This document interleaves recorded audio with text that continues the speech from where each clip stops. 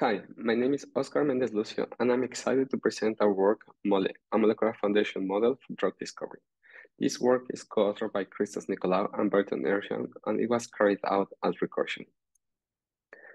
There are many ways to represent molecules for machine learning models, such as fingerprints, which in general present very good performance in machine learning models.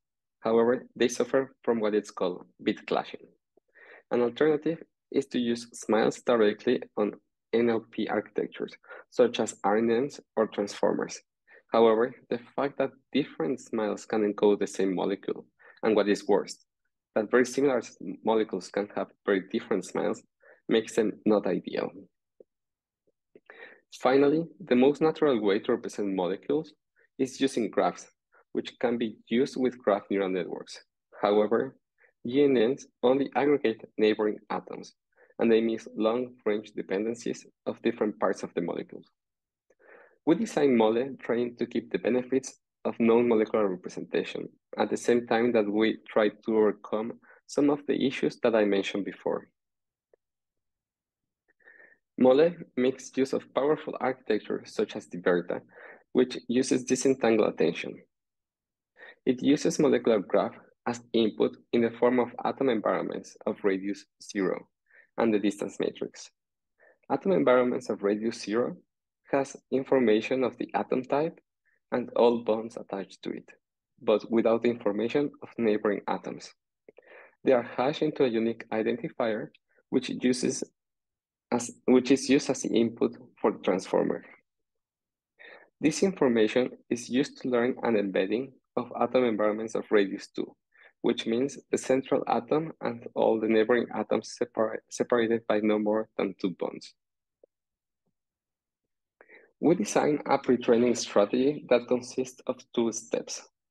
A self-supervised step to learn to represent chemistry, in which we learn atomic environments of radius 2 present in 1.2 million molecules.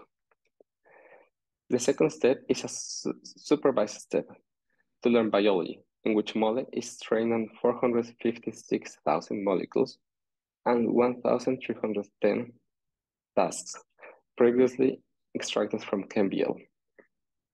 After pre-training, MolE can be easily fine-tuned in downstream tasks, achieving very good performance. We benchmark MolE using the ADMET group of the Therapeutic Data Commons. This benchmark consists of 22 different tasks including both classification and regression. The number of data points in this benchmark range from very few hundreds to few thousands. This is the normal and standard size of datasets used in a drug discovery project.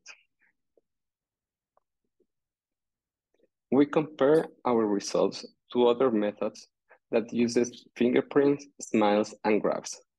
MolE performed better than any other method on 9 out of the 22 tasks in the Therapeutic Data Common benchmark. In particular, the best results were obtained when using both self-supervised and the supervised pre-training, suggesting that the two-step strategy is needed to obtain the best results. In conclusion, we show that transformers can be used directly with molecular graphs in the form of atom environments and distance matrix. We propose a new and powerful self-supervised approach to pre-train molecular graphs. We also show that MolE achieves state-of-the-art performance on 9 out of the 22 ADMET tasks when using a two-step pre-training pre strategy. Thank you very much for your attention and visit our poster if you want to know more about our work.